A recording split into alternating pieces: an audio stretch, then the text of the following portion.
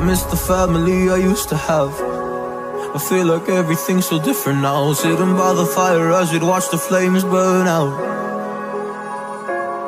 I miss the days I wasn't afraid. Now I always have my guard up. Hands on my face, I learned to cope with the pain. I know that people think I'm trying to get attention. But in reality, I'm trying to send a message. I know there's kids out there that are going through the same thing. And if you're one of them, I hope to help your suffering. Just know it